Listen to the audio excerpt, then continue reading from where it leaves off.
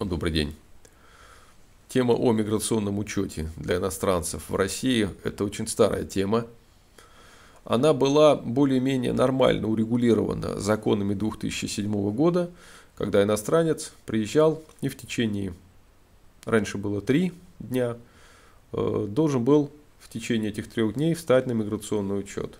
Потом пошли навстречу, сделали 5 и даже 7 дней. То есть на сегодня в последней редакции законов вот этих поправок к миграционному учету 2017 года иностранный гражданин, любой, должен в течение 7 дней стать на миграционный учет. Единственным исключением из этого правила являются иностранцы с э, визами ВКС – Э, которые должны встать на учет в течение 90 дней. Это рабочие визы высококвалифицированных специалистов. Вот все остальные по общим правилам обязаны регистрироваться. До 2007 года вот этот вот, если кто помнит, заставал. То есть это вопрос с регистрациями был такой достаточно сложный, плохо урегулированный процесс. Было очень много поддельных регистраций. Проверять их было очень сложно. То есть в каждом отделении милиции хранился специальный журнал регистрации, и понять, настоящая это регистрация или нет, было достаточно сложно. Вот эти законы 2007 года, когда начали внедрять новую систему миграционного учета, э, в принципе привели в порядок. Сейчас достаточно легко узнать, э, человек зарегистрирован или нет. По сути дела, вся история с миграционным учетом заключается только в одном. Человек должен быть внесен в базу миграционного учета в течение 7 дней, иностранец. Если он внесен в эту базу, все, никаких претензий быть не может. Э, выясняется это либо на границе, либо при обращении иностранца, например, за разрешением на временное проживание. Он показывает уведомление о прибытии, если оно не настоящее, а поддельное, то сейчас подделок опять огромное количество появилось, ему отказывают объясняют, что его нет в этой базе данных миграционного учета, она находится в ФМС. Теперь опять в МВД, потому что ФМС опять передали в МВД.